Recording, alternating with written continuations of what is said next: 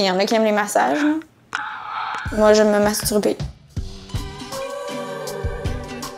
On est censé comme rentrer nos doigts. Euh, non, ça a l'air que comme on est censé vibrer ça.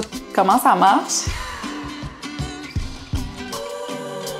Je me suis créé un univers cohérent pour me masturber. Ça m'a pris vraiment du temps avant de penser que je puisse le faire sans me sentir mal pense que c'est juste une question d'apprendre à se laisser aller. Finalement, la masturbation, ça a changé ma vie.